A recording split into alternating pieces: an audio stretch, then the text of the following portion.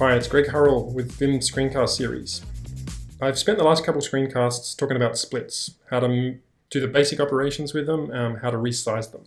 Um, before I go on to talk about tabs, there's one more split related thing that I want to cover, and that is how to move windows around. Uh, so let me just get a couple of windows open, uh, just so that we have some material to, uh, to talk about. Um, let's open something else here. Maybe now I've got three vertical splits. That'll do. Um, there is a kind of cute novelty command for rotating tabs. That would be Control W, Shift R. Um, I tend not to use this very often, but every now and again it is exactly what you want. Um, and I think the case where it tends to come up, actually let me make a horizontal split. The case where it tends to come up is where you realize, oh, this thing that I'm looking at here, uh, maybe this one, doesn't deserve to be down in the corner there. I kind of want to rotate them around until it's maybe in the middle there. So I could use Control W R.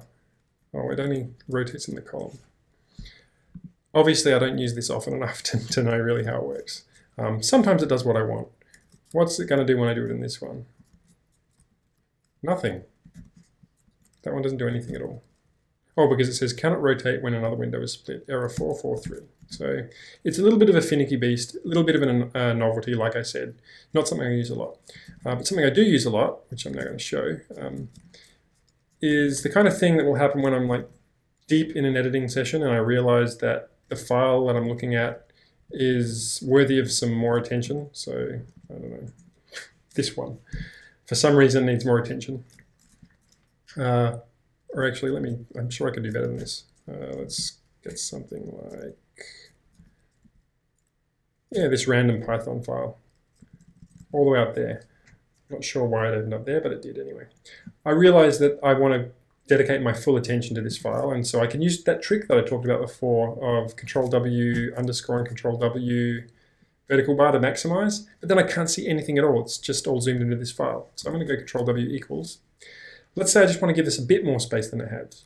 I can use Control W followed by Shift H, J, K, or L to throw the window all the way to the top, bottom, left, or right of the screen. So Control W uh, K is going to throw it up to the top. Uh, Control W Shift K. It's going to throw it all the way up to the top, make it full width. Control W Shift J throws it all the way down the bottom. Control W Shift H to the left. Control W Shift L to the right. That's pretty handy. Um, so with a combination of those moves, I can generally get my focus exactly where I want it to be. Um, the other thing that I will be talking about later um, is this question of visual focus. You may have noticed as I'm moving around these uh, panes, the focus is kind of following me around. Um, I don't have a plugin for that. It's in my dot files, uh, and I think it's worthy of, of deeper exploration, so I'm going to save it for another talk. But that also helps me deal with a large number of splits where without this visual aid, I might not know what's happening. So thanks for watching this one. I'm going to cut it here and the next one's going to be about tabs.